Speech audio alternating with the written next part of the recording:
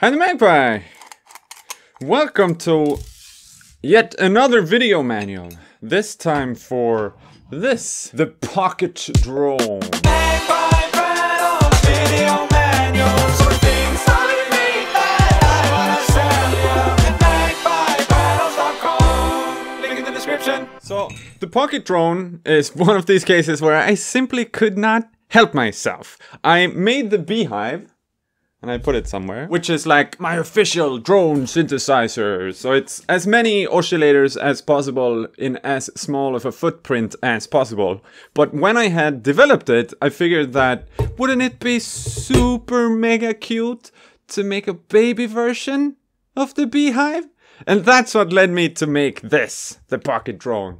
Just as a size comparison, it doesn't even fit in frame. And I mean, that's the name and everything, you know, it's the pocket edition. I had a lot of fun developing it also, uh, because it's uh, way harder to make something to fit in a tiny, tiny box than in a bit bigger of a box. Obviously, not as many oscillators, but we still have 12 actually. These four are volume, and these 12 are oscillators and it's divided like that. So three oscillators one volume knob three oscillators one volume knob so on and so forth. And the top row of oscillators are tuned a bit higher in pitch uh, just so you can get even more out of it actually as far as range goes. All analog and it does work on a 9 volt battery. Doesn't have to we have a power jack but yeah i was able to actually fit that in as well which was surprisingly hard.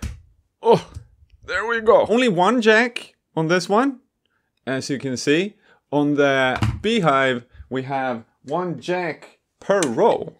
So up here each of these rows goes to an individual output and they all sum up to the last one uh, just to get more out of something as primitive as the beehive or the pocket drone for that matter uh, but what i did here is i have a balanced output or stereo jack so what you can do is you can either go with a mono cable but then you only get these two rows out on that channel. You can also go with a balanced cable. It's got both a tip and a ring, and then you get these two on the tip and these two on the ring. Or you can do as I like to do, which is going with one of these Y cables, which is like stereo on the one side and then you get two mono out on the other meaning that you can make panorations and stuff like that. You can separate the, the two halves of uh, the pocket drone just to get more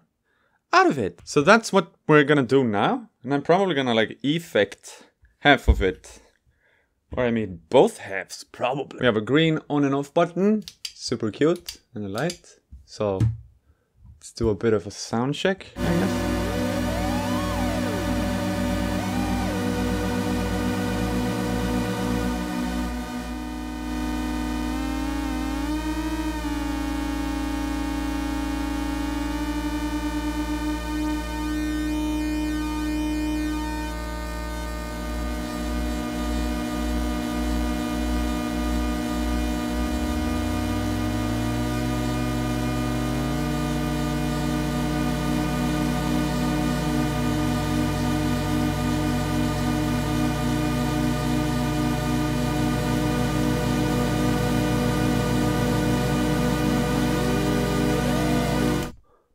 Actually, let introduce some effect right away. Cause as far as doing a video manual goes, this is about it. There's a link in the description if you want to pick one of these up. I'm not sure how many I'm gonna make of this. This was just a fun project since I had already designed the schematic for a big one. Uh, but yeah, I mean, it is what it is. Uh, link in the description if you want to pick one up. It really supports me and it warms my heart. So, just a bonus for you, I guess.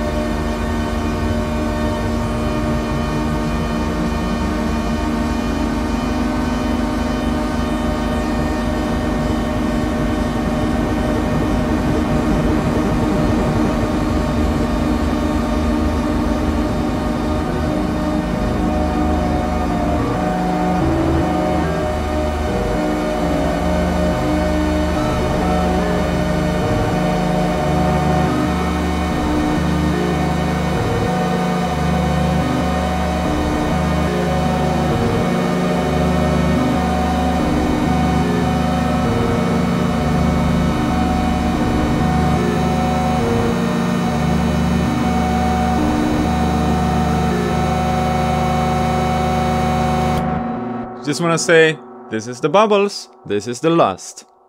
Also in the web shop in the description. This is a double delay that you can have in series or parallel. Very lo-fi, very lo-fi. This is a sequence delay. Uh, also very lo-fi.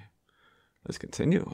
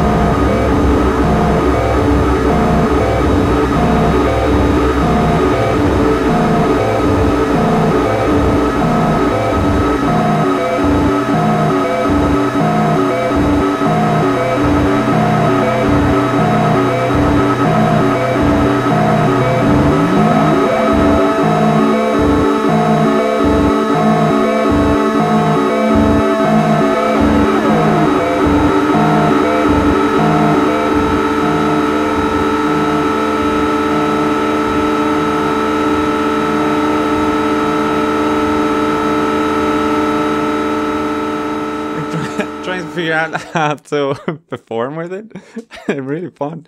Um, yeah, it sounds awful. Thank you for watching. no, but it sounds awful in a really good way. It's uh, pretty, pretty thick uh, to be this small.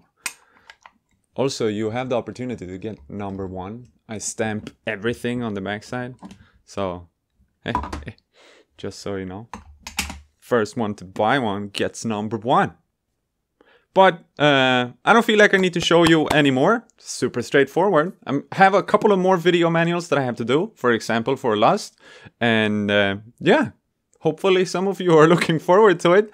It's something that I really have to do. So uh, it's gonna be coming up soon. Maybe bulk it or something. I don't know. Need to get it done. Anyways, uh, bye now.